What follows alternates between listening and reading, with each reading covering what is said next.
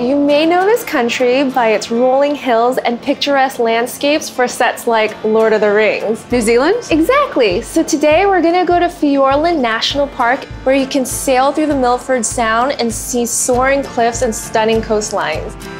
New Zealand is known for its natural beauty. It's no surprise that they have some of the finest ingredients in the world.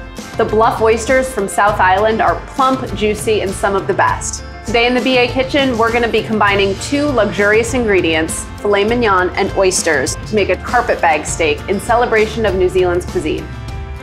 What we're doing is we're making a little pocket for those oysters to kind of go inside, and then I'm gonna slide an oyster or two into that little pocket, and then use your toothpick to secure. It's like a surprise filling. That's right. That's a beautiful crust. Isn't that nice? Mm-hmm. It's gonna taste great too.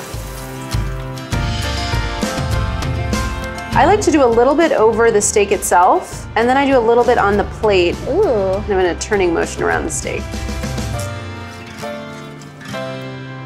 Mmm. This preparation takes a little bit of extra time, but it's so beautiful and so delicious. It's the perfect dish to make for a special moment, and it helps us discover a new flavor combination inspired by New Zealand.